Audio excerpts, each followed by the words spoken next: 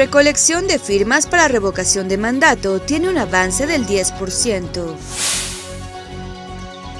A dos días de concluir el periodo de recolección de firmas de apoyo ciudadano para la revocación de mandato del presidente Andrés Manuel López Obrador, las 242 personas y organizaciones civiles que las recaban en Hidalgo llevan un avance de 10.41%, es decir, hasta el corte del 21 de diciembre, solo habían reportado al Instituto Nacional Electoral 6.871 de las 66.026 que se requieren. De acuerdo con el informe de avance del órgano comicial en la materia, más de 100 recolectores autorizados han entregado los apoyos acumulados, que van de 1 hasta más de 1.000, como es el caso de Gabriela Jiménez Godoy, quien presentó 1.861, lo que representa 2.81% de lo necesario. Asimismo, Graciela Ramírez Hernández entregó 1.250, equivalente a 1.89% de las más de 600.000 firmas requeridas. Además, 124 hidalguenses optaron por brindar su rúbrica a través de la aplicación móvil del instituto, sin necesidad de un auxiliar